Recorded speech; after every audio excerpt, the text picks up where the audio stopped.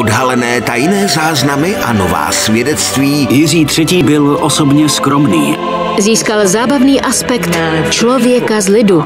O nejdéle vládnoucím britském králi. Za jeho vlády byl poražen Napoleon. O panovníkovi, V Richmondském parku pozoroval Venuši, což dokládá jeho zájem o astronomii a vědu. jenž je v historii připomínán jako šílený.